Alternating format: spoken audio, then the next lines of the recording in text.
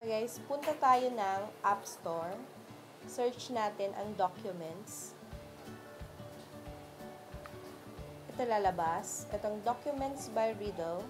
Download natin yan. Meron na kasi akong na-download.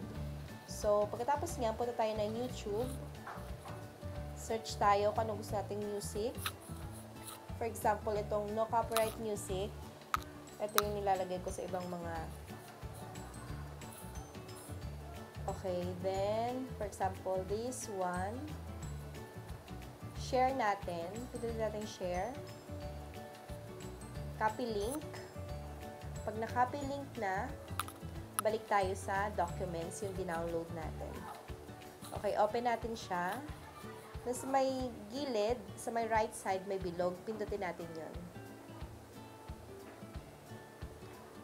Tapos sa pinakataas, search natin yung save from net. Then, ito yung lalabas. YouTube Downloader. Click nyo yan, and then, enter, and paste. Paste nyo po. And then, ganyan yung lalabas. Pindutin nyo na yung download. Pwede na siyang ma-download. May lalabas dyan na done. Pindutin nyo yung done.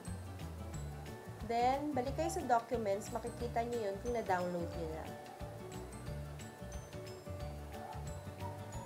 Yan. Sa downloads, titingnan nyo. For example, nandyan na. So, ang gagawin natin, edit natin. Click, then share. Share natin. Then, lalabas dyan yung kung anong gusto, gusto nyo ilalagay. Like sa iMovie.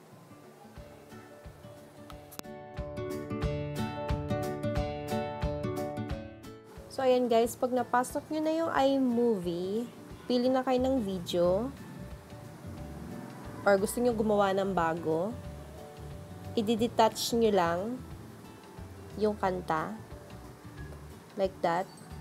Ipasok nyo siya, tapos hanap kayo ng video na gusto nyo. Tulad nito yung puro video kasi ng baby ko to eh. So, kunwari, pili kayo ng isa.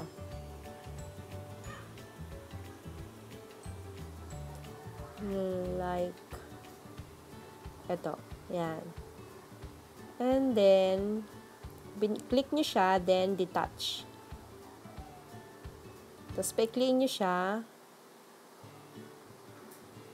Para yung sound lang yung makuha natin. Then i-fill up nyo lang doon sa video nyo. Like that. Kailangan yung puno lang siya. Yung sakto lang siya sa video. Pa-play natin. Ganyan.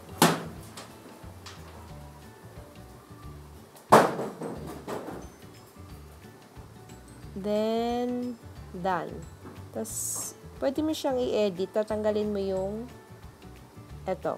I-delete mo na siya para hindi siya kasali. Okay na. Yun lang.